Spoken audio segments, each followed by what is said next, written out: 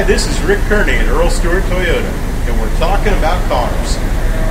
Another important system is called the cooling system. Antifreeze to those of you of the old school.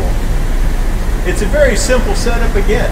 A radiator up front where hot coolant is pumped into, the air blowing across the front of it and being drawn across by the cooling fans cools that radiator down. It takes the heat out of that coolant. The coolant is then pumped through the engine to help absorb heat from the engine and run back through the radiator to be cooled down again. There are several components to the system, however.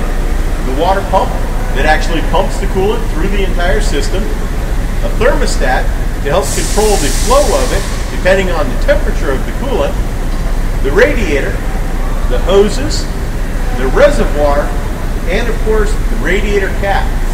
Bear in mind, if that radiator cap is hot, do not open it. You can be very badly burned. Feel the upper radiator hose. If it's hot and you can't hold your hand on it, don't open that cap. If you squeeze it and it seems very hard, again, don't open that cap. It means it's under pressure. One of the easiest things you can do to inspect this system yourself is look at the level of coolant in the reservoir. If it's low, you might have a leak you'll want to add some fluid, antifreeze, or even just plain water, and have your system pressure tested to make sure that you don't have a leak somewhere that's going to leave you stuck by the side of the road with a blown up engine. On older cars, the antifreeze was good for around 30 to 40,000 miles.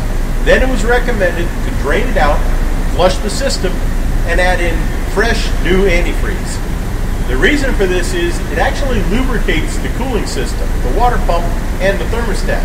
On newer cars, however, the antifreeze lasts a lot longer.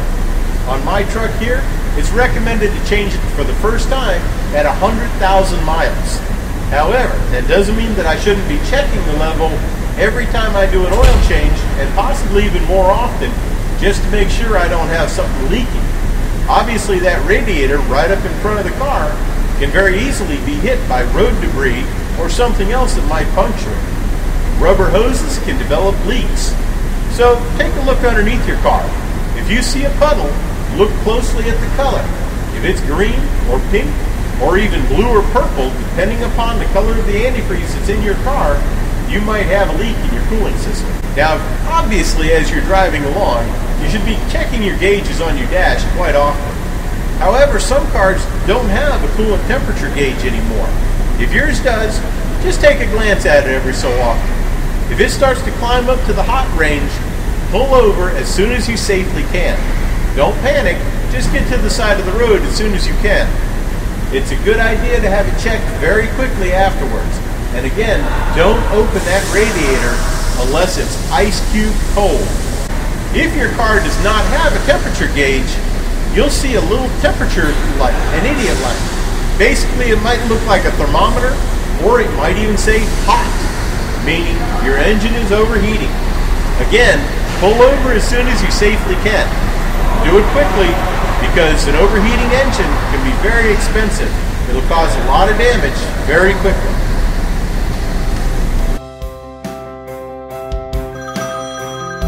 Earl Stewart.